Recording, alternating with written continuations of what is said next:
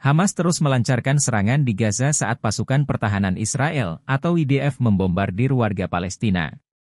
Kini terekam tentara Zionis dan jurnalis Israel sedang melakukan wawancara di sekitar bangunan reruntuhan.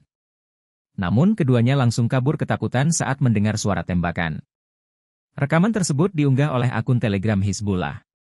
Dalam unggahan itu dinarasikan tentara Israel dan seorang jurnalis melarikan diri saat wawancara. Hal itu terjadi lantaran bentrok pecah dengan kelompok perlawanan di Gaza. Dalam video itu, mulanya tentara Israel berkepala pelontos itu menceritakan situasi di medan perang. Ia mengatakan jarak antara medan tempur dengan perbatasan sekira 200 meter.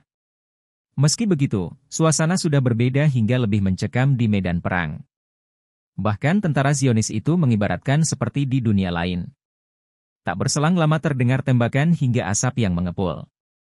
Situasi tersebut membuat sang jurnalis ketakutan dan sempat bertanya apakah mereka akan baik-baik saja.